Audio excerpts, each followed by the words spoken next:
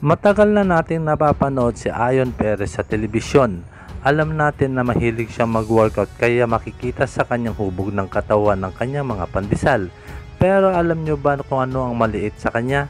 Kung di nyo pa alam, dapat yung panoorin ang video na ito para malaman nyo kung ano ang tinutukoy ko. September 27, 2018, naging regular nga si Ayon Perez bilang kuya escort at madalas na mas mahaba ang kanyang TV exposure dahil sa kanyang paglalaro on screen kay Vice Ganda. Pinasaya ni Vice ang tinig ng tunog nun. Nag nagtanong si Vice kay Ayon, Bukod sa boses mo, ano ang maliit sa iyo? Para hindi ako umasa, Bukod sa boses mo, ano pang maliit sa'yo? Sabihin mo na hanggat maaga pa. Hindi na ako umasa pa. Sabihin mo na hanggat maaga, ano pang maliit sa'yo?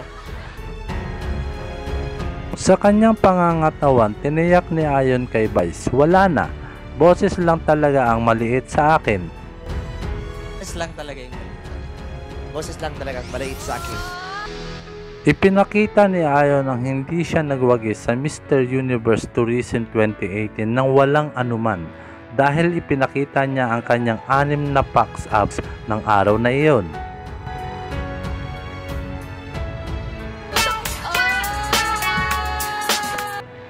Patuloy na lumandi si Vice kay Ayon, alam mo na nagdadala ng tuyong labi, basain mo. Anong alam mo bukod sa mahalin ako? Alam mo, nagdadry yung lips mo, basain mo. Ay, wala ka na yatang laway. Wait. At natuwa naman ang mga nanonood.